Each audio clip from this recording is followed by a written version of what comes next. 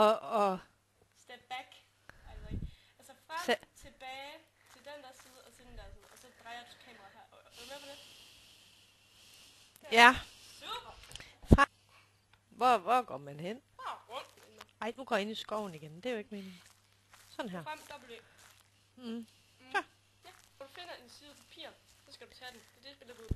Når jeg finder en hvad? Et stykke papir. Hvor, hvordan tager jeg det så? Musen. Ah. Øh, Skal det gå så langsomt? Ja. Skal det gå så langsomt? Men nu går ind i skoven. Nej, det er ikke meningen. Så går vi lige den. Ja. Ja, ja, ja.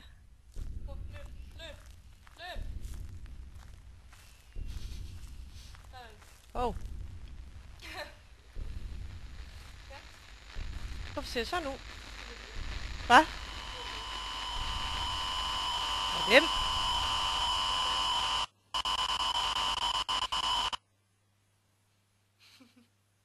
Du skal finde nogle sædler. Det er det spil, det går ud på. Ja. Jeg synes bare ikke, det der med at gå rundt, det er bare ikke særlig smart. Nå.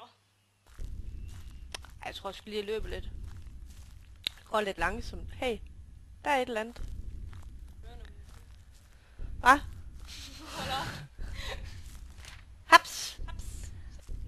Skal jeg bare finde en ny seddel.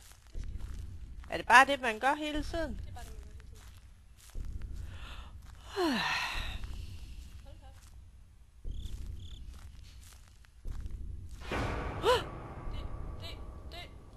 tiden. Det, sagde du.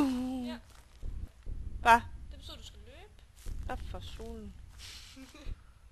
Jeg må ikke gå derhen, eller hvad? Hvem var det?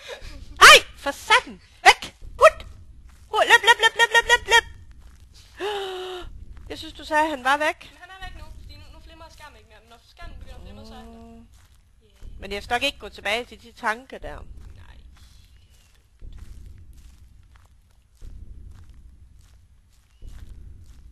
Hvor gammel skal man være for at spille det her?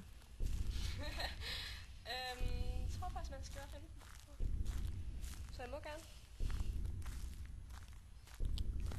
Løgner. Løgner. Skal man ikke være 18? Jeg tør ikke gå tilbage til det der. Au. Hvorhen?